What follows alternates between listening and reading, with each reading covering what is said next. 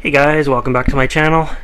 In today's video, I just wanted to do a, a quick video on a Dracula orchid that's looking awesome today. I want to do this bright and early before the sun gets shining. I'm already getting some backlighting up there. This is Dracula Hirtzii, and we have three blooms out today, and it just looks fabulous. They're long, sequential blooming, good sized flowers on them and just yeah overall really really pretty looking. This is the red form. Let me see if I can get an underneath shot here. That might be just too much backlighting too much to ask for. Yeah. But I love the way they hang. They're just sort of uh you know they almost well they literally hang. The little um lip there can sway some people say it looks like a face, like a monkey face. Kind of looks like a jaw right now. You can see the um, eyes and the nose and the mouth. So these guys like it cooler. They like it really humid. Uh, the median never likes to dry out. Um, a lot more humid than say Masdevallias.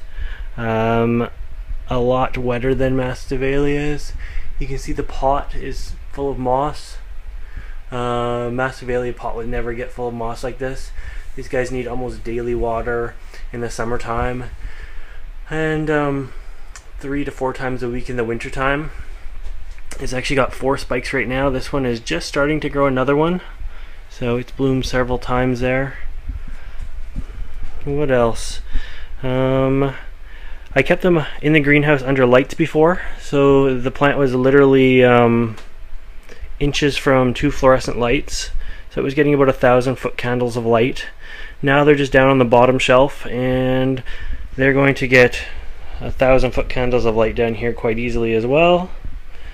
And yeah, they're right next to the fogger system so it stays really, really moist even when it's warm. And they can handle the heat and they can even handle a bit of light. I would never keep it up where it is right now. That would be too bright. But um, they can handle the light and as long as it cools down at night they seem to be fine with summer heat.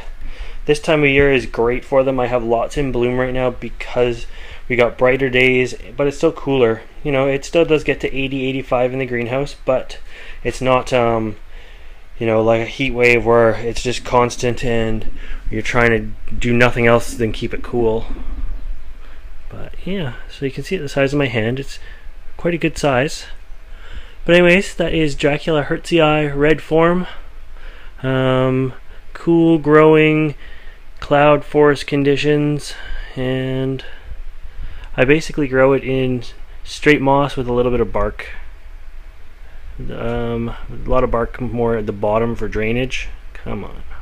Come on. I took you out of focus. Come on. There we go. Yeah, so it's sort of a mix. And right down here where there is no moss is a layer of bark so that it drains faster. You need it to be wet, but you don't want it to be soggy.